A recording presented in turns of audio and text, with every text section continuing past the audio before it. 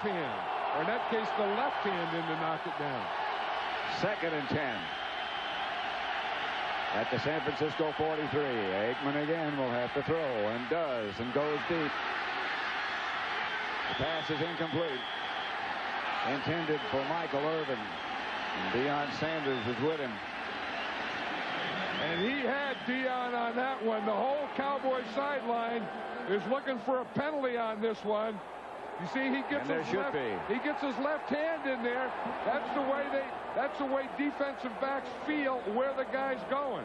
He got that left arm in there in front of him. Deion Sanders is trying to get some oxygen. He's trying to get close to that grass. There's a flag on the play on the far side of the field. I think Barry Switzer might have run into the referee. Yeah, but well, half of that sideline was out there. That's what they were yelling about. Bumping the official on the field. The official was bumped on the, the field. was over. 15 yards. Third down. 15 yards after the play was over. It's still third down. Uh, he thought he should have had the penalty, and then he didn't get it, but he can't go on the field. He better calm down. And you certainly can't make any contact with the official.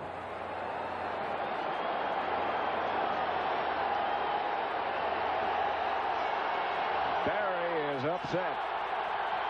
Third and 25.